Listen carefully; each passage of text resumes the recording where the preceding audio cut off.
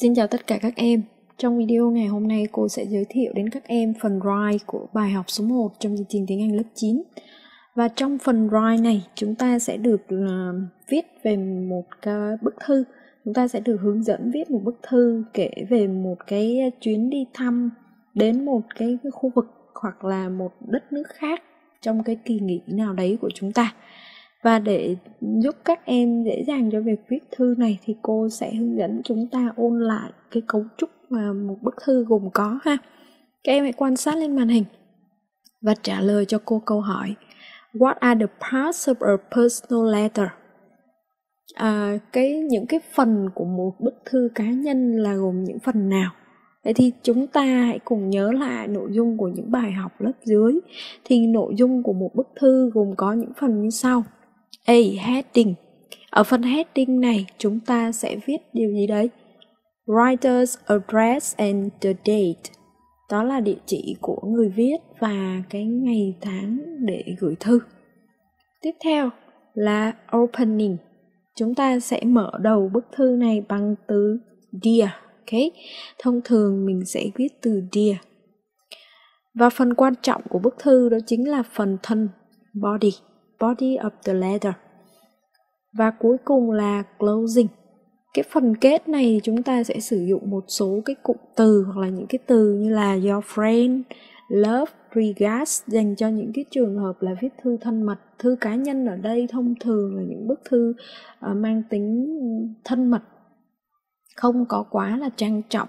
Còn đối với những bức thư trang trọng thì khi nào chúng ta gặp đến cô sẽ ôn tập lại và bây giờ chúng ta sẽ quay trở lại phần nội dung trong sách giáo khoa ở trong bài học sách giáo khoa, người ta cho mình cái đầu đề như sau Imagine you are visiting your relatives or friends in another part of Vietnam or a different country. Write a letter to your family. Follow the outline. Vậy thì trong sách giáo khoa của các em thì người ta cho một cái outline đúng không nào? Nhưng mà cô đã biến cái outline này thành cái đoạn một số câu hỏi để giúp chúng ta có thể trả lời được những câu này và viết được những cái bức thư. Thì đầu đề của bài mình yêu cầu là hãy tưởng tượng em đang đến thăm em sẽ đến thăm một người bà con hay là một người bạn ở một đất nước khác hay là một um, nơi khác ở trên lãnh thổ Việt Nam. Sau khi đến thăm đó thì mình sẽ viết một bức thư gửi về cho gia đình và hãy theo dõi những cái câu hỏi để trả lời xem là mình sẽ viết gì trong nội dung của bức thư nhé. Number one, where are you? Vậy thì lúc mà mình viết thư mình phải chọn cái địa điểm mình đang ở để mình viết đúng không nào? À, ví dụ như các em có thể chọn những cái nơi như là à, Hà Nội, Thành phố Hồ Chí Minh hay là những cái thành phố lớn ở đất nước mình chẳng hạn có rất là nhiều nơi, đúng không? Thì mỗi bạn có thể chọn cho mình một cái nơi mà các em cảm thấy thích nhất. Number two, when did you arrive there? Các em đã đến đó khi nào? Đúng không nào? Mình phải chọn một thời điểm mình đến. Thông thường thì các em đi thăm người thân hay là đi du lịch hay là đi đâu đó thường vào dịp nghỉ hè, đúng không nào? Các em chọn vào khoảng nghỉ hè hay là dịp tết. Who met you and took you to his or her house vậy thì ai gặp, ai là người đón, ai là người gặp các em và đón các em về nhà của họ, đúng không? What have you done? Các em đã làm gì? Where have you visited? Các em đã đi thăm những cái nơi nào? What food you sorry, what food have you tried? Các em đã thử nếm thử những cái món ăn nào rồi? What have you bought? Các em mua được những gì? How do you feel? Và cảm xúc của mình khi mà mình được đi tham quan đó thì mình sẽ kể nhắc đến cái cảm xúc của mình lúc mà mình viết thư. Và cuối cùng là, when will you return home? Và các em sẽ trở về nhà vào thời gian nào? Như vậy đây là những câu hỏi mà cô đã gợi ý dựa vào cái outline trong sách giáo khoa. Ở trong sách giáo khoa người ta chia ra cho các em làm 3 phần đúng không nào? Ở first paragraph là mình sẽ viết để nói về cái nơi mà mình đến ai là người gặp uh, ai là người gặp đón mình và đến đó bằng phương tiện gì chẳng hạn. Thì đó là những cái phần nội dung của câu hỏi số 1 và số 2 của cô. Tiếp theo là ở phần đoạn thứ hai second paragraph chúng ta sẽ nói về những cái việc chúng ta làm nơi chúng ta đi thăm những người chúng ta gặp cái thức ăn của chúng ta được nếm những thứ mà chúng ta được mua. Thì nó sẽ trải dài từ câu số 4 cho đến câu số 7 và cuối cùng là câu 8, câu 9 sẽ rơi vào đoạn thứ ba third paragraph. Chúng ta sẽ nói về cái feeling và um, những cái suy nghĩ những cái nơi mà chúng ta cảm thấy thú vị. Dựa trên những cái outline và câu hỏi này thì cô sẽ gợi ý cho chúng ta một cái bức thư mẫu các em có thể đọc và tham khảo. Sau đó mình sẽ chọn địa điểm mà mình viết bức thư của mình ha. Các em hãy quan sát lên bức thư mẫu của cô. Rồi. Địa chỉ của cô viết là ngày ha, à, là số 26 đường Nguyễn Tri Phương, Đà Nẵng ha. 26 Nguyễn Tri Phương Street, Đà Nẵng. June the 15th, okay? 2006 sorry, 2017 là ngày 15 tháng 6 năm 2017. Khoảng này thì chúng ta đã được nghỉ hè rồi đúng không nào? Dear Mom and Dad, I arrived at Da Nang Airport at 8 a.m. on Tuesday. Nam and his sister met me at the airport. Then they took me home by taxi.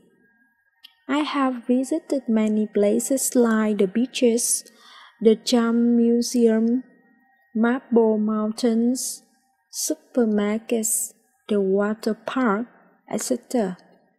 I have tried different foods, seafood, Da Nang specialty. I will visit Hội An and Sơn tomorrow. I feel so happy and enjoy myself so much. The people here are so nice and friendly. The food are so delicious and the sights are so beautiful. I will leave Da Nang at 2 a.m. on Sunday and I will arrive home at 5 p.m. Please pick me up at the airport. Do sân mình. Vậy thì ở bức thư này, bạn này đã kể cho bố mẹ mình nghe là bạn ấy đã đến Đà Nẵng, đến sân bay Đà Nẵng vào lúc 8 giờ sáng vào ngày thứ ba đúng không nào? và bạn ấy đã đến thăm một người bạn của mình tên là Nam thì Nam và chị gái của Nam đã gặp Minh tại sân bay và họ đã đón Nam về nhà của họ bằng taxi. Sau đó thì bạn ấy kể là gì đây? I have visited many places like the beaches. À, con đã đến thăm rất là nhiều nơi như là um, bãi biển nè, The Chum Museum là bảo tàng của người Chăm rồi Marble Mountain núi ha. Rồi gì? Đi siêu thị rồi đến công viên nước. I have tried different foods con đã được thử rất là nhiều món ăn như là um, hải sản và những cái món đặc biệt ở Đà Nẵng. Uh, I will visit Hà, Hội An and Mỹ Sơn tomorrow. Và lịch trình đó là ngày mai thì con sẽ đi thăm Hội An và Mỹ Sơn. I feel so happy. Con cảm thấy rất là vui và um, tận hưởng cái giây phút um, vui vẻ đó ha mọi người ở đây thì rất là tốt bụng và thân thiện. Thức ăn thì cũng rất là ngon và phong cảnh thì rất là đẹp. Con sẽ rời Đà Nẵng vào lúc 2 giờ sáng, ok? 2 giờ sáng ngày chủ nhật và sẽ về nhà vào lúc 5 giờ chiều. Ồ, chỗ này như có một chút sơ sót ha. Mình sẽ sửa lại là bay vào lúc 2 giờ chiều ha. PM 2 PM và về nhà lúc 5 giờ chiều. À, bố mẹ hãy đón con ở sân bay nhé con trai của bố mẹ mình.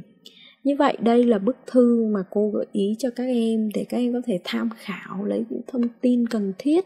Sau đó hãy biến đổi thành ý của mình và thay đổi cái địa điểm các em đến. Có rất là nhiều địa danh chúng ta có thể chọn hoặc là chúng ta có thể chọn một đất nước khác. Ví dụ như một số nước trong khu vực đông nam á như là thailand malaysia. Indonesia, Singapore, ok? Ở rất là nhiều các cái quốc gia mà cô nghĩ là trong số các em cũng có bạn đã được đi đến những quốc gia này rồi. Thì hãy sáng tạo bài viết của mình được thú vị hơn nhé. Cảm ơn các em đã quan tâm theo dõi video này và xin hẹn gặp lại các em. Cảm ơn các em đã xem video bài giảng của học 247. Hy vọng rằng các em sẽ nắm vững những kiến thức bổ ích mà thầy cô đã truyền đạt. Và hãy chia sẻ cho bạn bè học cùng. Để theo dõi và xem thêm nhiều video bài giảng mới từ lớp 10 đến 12, các em hãy click đăng ký kênh học 247 nhé!